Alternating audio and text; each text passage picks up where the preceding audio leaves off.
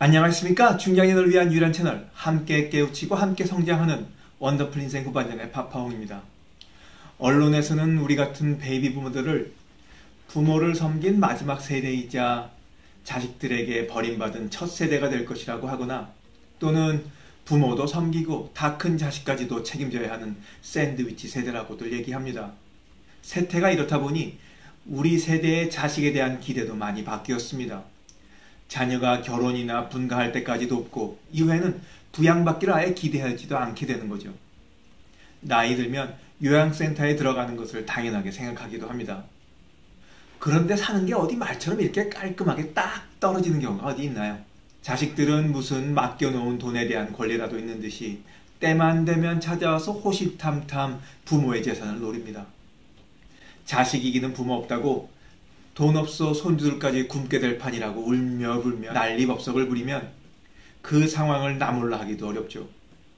부모의 약한 마음을 이용하는 걸 알면서도 자식이니까 그냥 져주는 거예요. 그래서 오늘은 어쩔 수 없이 불안한 마음의 자식과 효도에 대한 계약서를 쓰는 사람들의 이야기를 해보려고 합니다. 잠시 후에 뵙도록 하겠습니다. 감사합니다.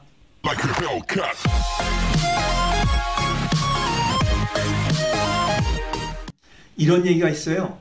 우리나라의 노인 빈곤율이 OECD 국가 중 1위거든요. 평균이 한 10% 되는데 대한민국은 4배 이상 높습니다. 그런데 자식들에게 재산을 증여하지 않고 잘 유지하고 산다면 노인 빈곤율이 크게 낮아질 수 있다고 전문가들은 얘기를 합니다. 말을 바꿔 하자면 부모들이 가난하게 살 수밖에 없는 데는 돈 떼어먹는 자식들의 역할이 크다는 것이고 얼마를 갖고 있던 자식들로부터 그 재산을 지켜낼 수만 있다면 노후 불안은 크게 가실 수 있다는 거 아니겠어요? 자, 이쯤에서 사연 하나 들어보시겠습니다. 어느 날부터인가 딸은 뺀질나게 집에 찾아와 사위가 운영하던 사업체가 어렵게 되었다며 이제부터 자신이 모실 테니까 미리 징여를 해달라고 졸라대기 시작했습니다. 제 나이 60대 중반에 접어들었고 통장에는 노후 자금으로 모아놓은 2억이 있었죠. 하도 울며 불며 졸라대는 통에 버티다 버티다 결국 그 통장을 딸에게 건네주고 말았습니다. 딸이 기뻐하는 모습을 볼 때는 아, 아이고 그 몇 푼 되지도 않은 노후자금 지키려고 버텼던 자신이 부끄럽기도 했습니다. 아유 저렇게 좋아하는 걸 빨리 줄걸. 에이 참나. 하지만 통장을 건네받은 이후 딸네 부부는 연락이 뜸해졌습니다. 전화해도 시큰둥한 반응을 보이기 일쑤였죠. 같이 살자는 약속은 이런저런 핑계를 대며 차일피일 미뤘습니다. 생활비를 달라는 요구를 했지만 형편이 어렵다는 소리만 돌아왔습니다. 정말이지 자식에게 돈 떼이고 가난하게 산다는 얘기는 남의 일이라고만 생각했지 제 자식이 이럴 줄은 정말 몰랐습니다. 나중에 딸에게 돈을 준 것을 알게 된 아들 녀석과 며느리는 왜 자신들과는 미리 상의도 없이 돈을 줬냐며 눈에 쌍심지를 켜고 대듭니다. 딸에게 돈을 받기 위해 소송을 하면 이제라도 돌려받을 수 있을까요? 전액이 안 된다면 매달 분할해서라도 일정 금액을 받을 수만 있다면 좋겠습니다. 사연은 여기서 끝납니다. 자식에게 돈을 내어주고 후회하는 부모들의 전형적인 이야기죠. 우리 주변에서 흔히 들을 수 있는 것들입니다. 증여는 말 그대로 대가 없이 재물을 주겠다는 뜻으로 재물을 건네는 걸로 그냥 끝나는 겁니다. 그걸 문서를 썼던 구도로 했던 물건을 건네주는 순간 그 증여 계약은 끝나는 거죠. 그래서 원칙적으로 돌려달라고 할 수도 없고 다른 대가를 기대할 수도 없습니다. 그래서 안타깝지만 사연자는 딸에게 2억 원을 돌려달라고 할 수 없습니다. 소송으로 가봐야 이건 져요. 줬다가 뺏는 법은 없다는 말이 있는데 징여가 바로 그런 경우입니다. 세태가 이렇다 보니 부모와 자식이 부양 문제로 갈등하면서 법정 소송을 벌이는 경우가 늘어나고 있습니다. 대부분의 부모가 자식에게 재산을 증여했는데 왜 약속을 지키지 않느냐며 다시 토해내거나 약속대로 성실하게 부양의 책임을 다하라는 소송입니다. 아마 소송까지 가지 못하고 가슴앓이를 하는 부모의 경우까지 더하면 자식들에게 돈 떼이고 버림받는 경우는 이루 셀 수조차 없이 많을 거예요. 다른 사연 하나 더 들어보시자고요. 재산을 자식에게 증여하면서 보완장치로 나름 계약서를 쓴 70대 노부부의 사연입니다. 저희는 평생 농사를 지으며 20억 재산을 일군 70대 노부부입니다. 저는 죽기 전까지는 절대 자식들에게 재산을 안 물려준다고 제일 효도하는 자식에게 주겠다고 입버릇처럼 말했지만 아들이 사업에 계속 실패하고 살던 집까지 날리자 아내가 하도 졸라서 아들에게 10억 상당의 농지를 증여하기로 했습니다. 단 조건을 달아 각서를 썼어요. 평생 부모를 공경할 것과 아들을 낳아 대를 잇겠다는 것입니다. 하지만 아들은 저와의 약속을 지키기는커녕 사업에 또 실패하자 재산을 더 달라며 찾아와서 행패를 부렸습니다. 아내는 충격을 받아 몸져 누웠지만 아들은 코빼기도 비치지 않네요. 저희를 돌보는 것은 두 딸입니다. 아들이 너무 괘씸합니다. 우리 부부는 계약을 위반한 아들에게서 물려줬던 돈을 돌려받고 저희에게 잘하는 딸에게 나눠주고 싶습니다. 아들은 이미 증여받은 것이라 주장하고 게다가 이미 돈을 다 써버려서 남은 게 없다고 나몰라라 합니다.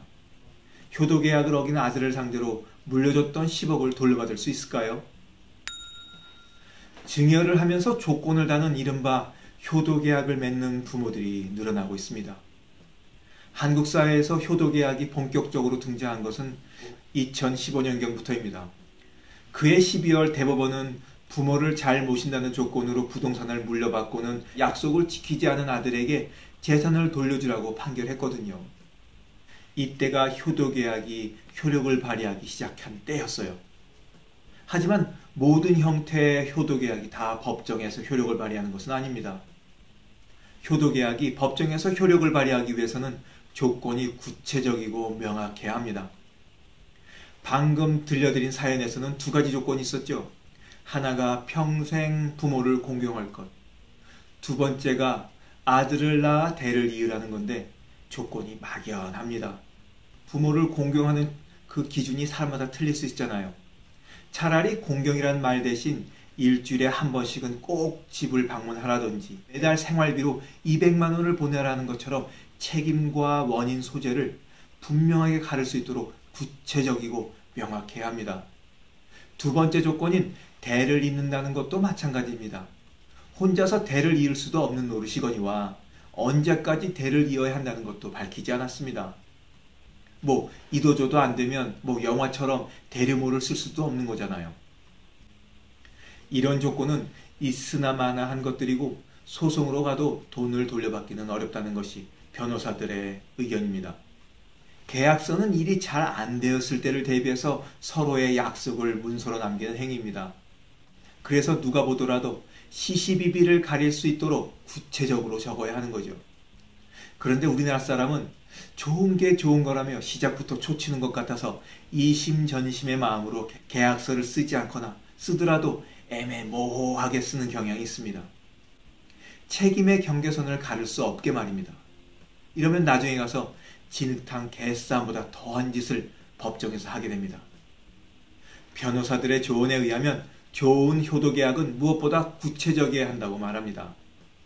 예를 들자면 자녀가 1년에 몇 차례 방문해야 하는지, 부양비나 치료비는 얼마를 줘야 하는지 금액까지 정확하게 명시하라는 거예요.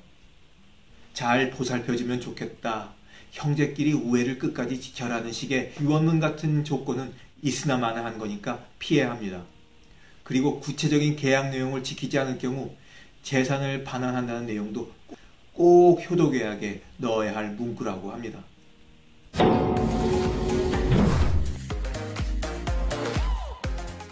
요즘 증여를 생각하는 부모들은 열의 서너 명은 변호사를 찾아 효도계약서를 쓴다고 합니다. 그러니까 이 효도계약이라는 것이 수십억 자산가들만 쓰는 것이 아니라는 거죠. 효도계약서를 쓰자고 하면 자식들은 언짢아하는 경우가 많다고 하는데 뭐 약속만 잘 지키면 문제가 될 게 없으니 계약서를 거부하는 것도 말이 안 되지 않습니까?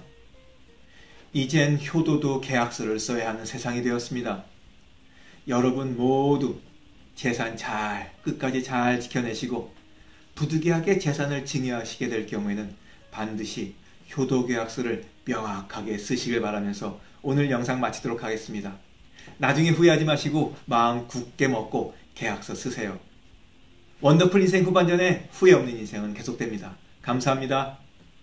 원더풀 인생 후반전을 계속 만나보고 싶으시다면 구독 부탁드리겠습니다. 감사합니다.